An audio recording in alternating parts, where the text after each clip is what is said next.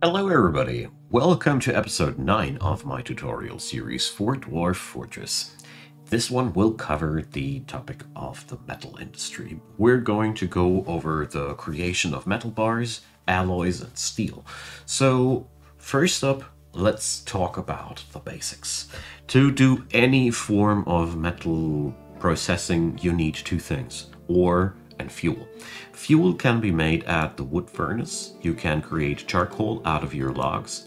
You can either order it like this for singular uh, dosages. You can also order it here in the work orders menu for a single time job. Here we will produce 10 things in a row. Or you order it in the work orders area and you can set up an automated system for that as well.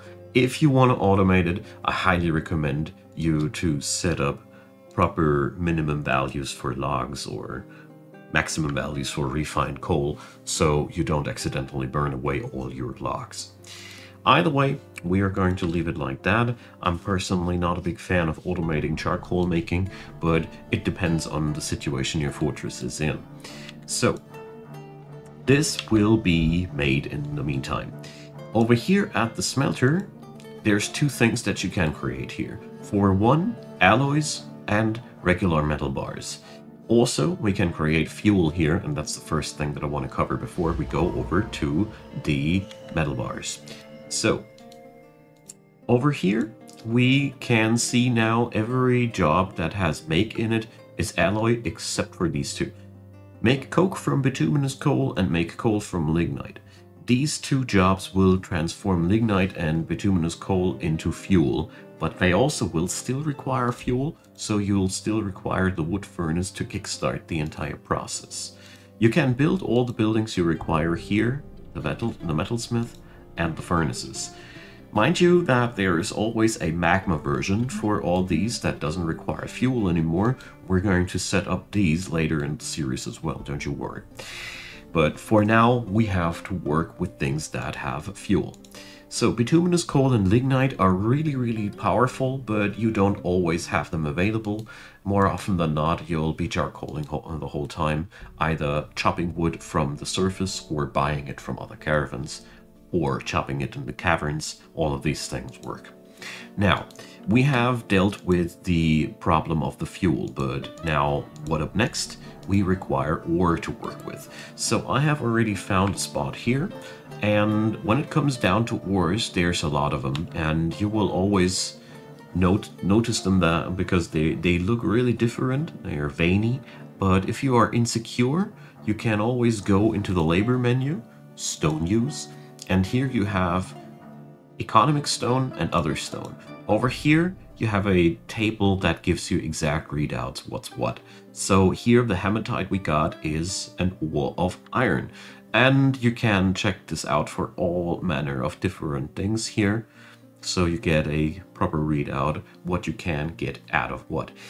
Some ores don't only yield one metal, but also two. For example, galena yields silver and lead. There's a couple of them, tetrahedrite here, copper and silver, but most of the time you get out one type of metal, and it is a very similar equation. One boulder of metal ore yields four bars of metal.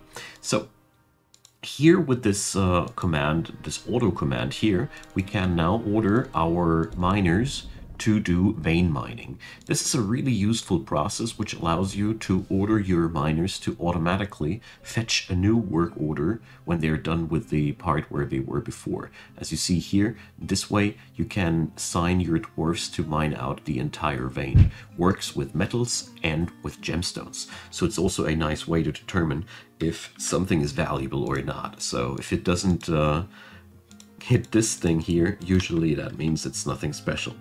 Now, we have now ore and we have fuel. So let's head back to the furnaces. The first thing that we are going to need to do is now setting up stockpiles.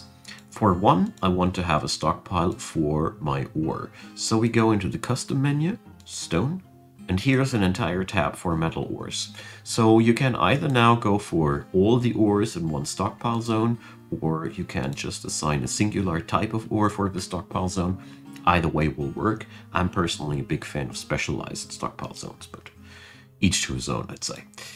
We crank up the number of wheelbarrows so the poor guys won't be carrying that by hand.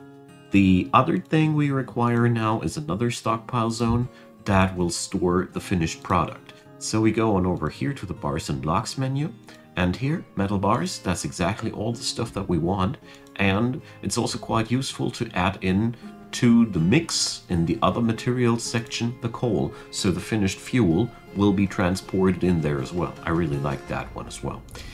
Metal blocks, you will be not creating them too much, but you could also store them here. Okay, with that system now we have the logistics down.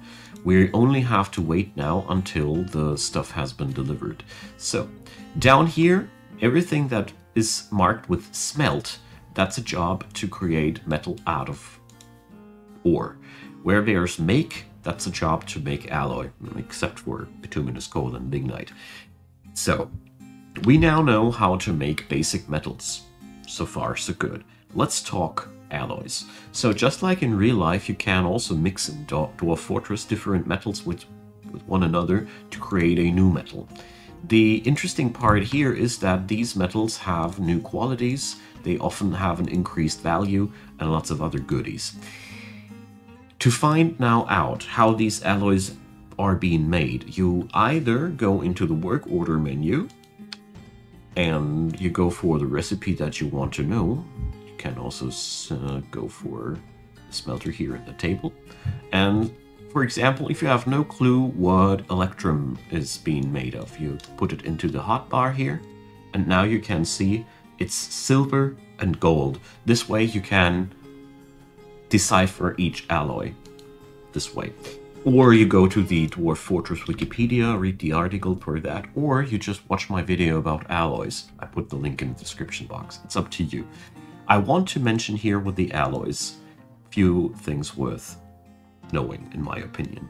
Most of these alloys are decorational or for the sake of value increase. Metal in Dwarf Fortress is worth a lot, and therefore it pays off to use it.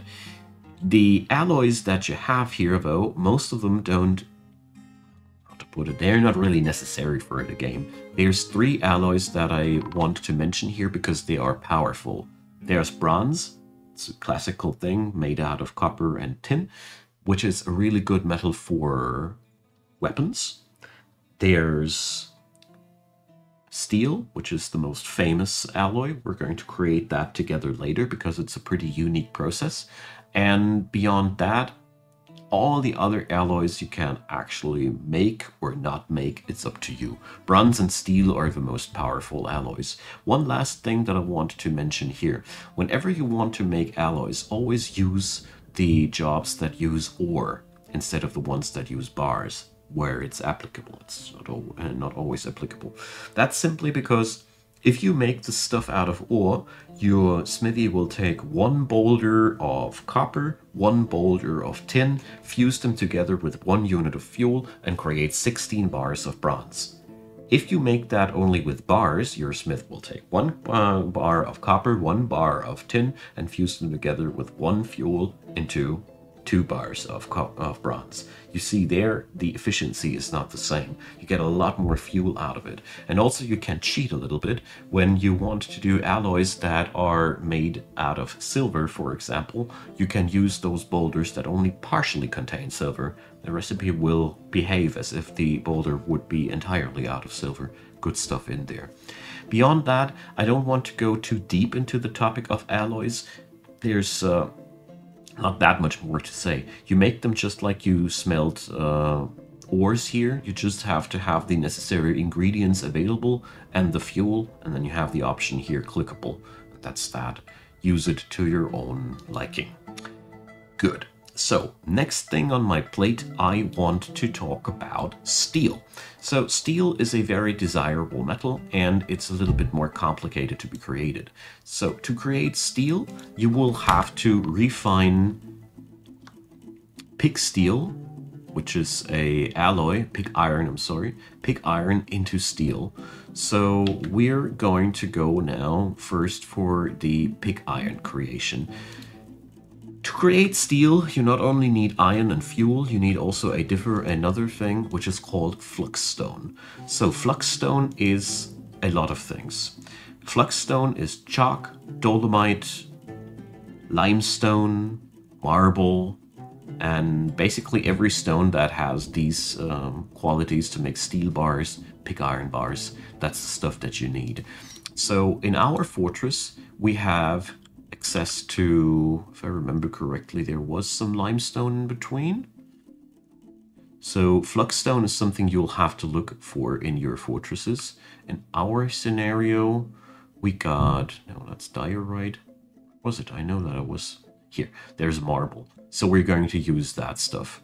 There's enough marble to go around, and we are going to go now back to our forge and assign a new stockpile zone for marble.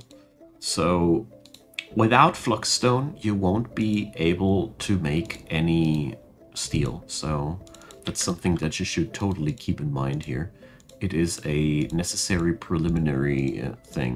Steel is also basically the most valuable of metals that you can create, besides of uh, gold and platinum and the like, but it is way more valuable than iron and uh, most other materials here, so that's worth mentioning. So, seems like we ran out of wood. It's something you should always keep an eye out if you're using charcoal you should always have a lot of wood available. Okay, so I'm gonna fast forward the video a little bit because we're out of fuel and we need that stone. I'll be right back in a hot minute.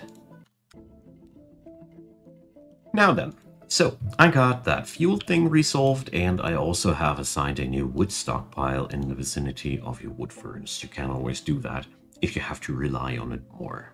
So now, I want to explain the process real quick. You do pig iron bars. These are being refined out of iron, fluxstone, and fuel. That's the first thing that you require. So your process starts with refining iron bars. You won't be able to make steel without iron, therefore. That pig iron will now be refined into a pig iron bar. So this is now a new material that can then be again uh, refined into steel bars.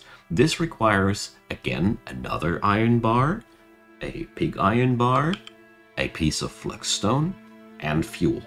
So this is a very cost-intense process and also labor-intense process because you basically refine a refined product. Therefore, it is a one of the most potent and valuable materials. Keep in mind also that in the world of Dwarf Fortress, dwarves are the only species that is capable of making steel. So this is really something special. Now, as you can see here, just want to illustrate the process one time, it even picks up two pieces of fuel here, one for that iron bar, one for that iron bar. So to make steel is a really, really costly endeavor, but it's really paying off. As you see here, at least you make two steel bars per recipe, and their value is, to put it into comparison, triple the amount of iron. Now, to automate that, I recommend you to go for something like this. You go for make pig iron bars, you make steel bars, and now it's up to you how you want to configure this thing. I'm personally a big fan of going for a configuration like this. Whenever I have more than, let's say, 100 iron bars, or how many iron bars you want to stockpile, it's up to you. And if I have enough refined coal, you guys make pig iron bars until we have, let's say, yeah, let's say 10. So this way we have a job that constantly keeps us some material available to refine. And then with the steel bars thing, the easiest way to do so is if the amount of pig iron bars is greater than 1, and if the amount of steel bars is smaller than insert your uh, specific amount of steel that you want to stockpile, and that's that. You can of course also limit it by only getting it produced if you have enough refined coal around. There's plenty of different options how you can configure it. I'll leave that to your own creativity. There's a lot of different ways of configuring that. Okay, So now we know how to produce all these things, but what for? I want to go on over to the Metalsmith's Forge. First of all, I want to mention that to make a Metalsmith's Forge, you will always require an anvil. An anvil is only to be made out of iron and steel, so these materials are really, really valuable.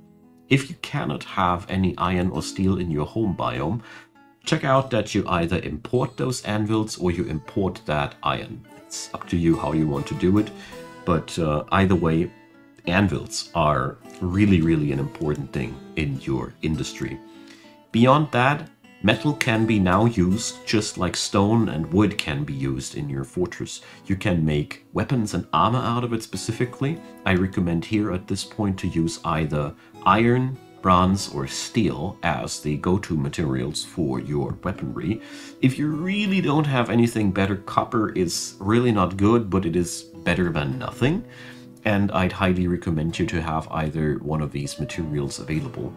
I also want to quickly mention that the smelter also has the opportunity for you to melt metal objects. This is in so far really interesting as the attackers that will come sooner or later drop items. Also, you can smelt down every single piece of metal. Uh, let me check here in the stocks. Basically everything with that icon here can be smeltered.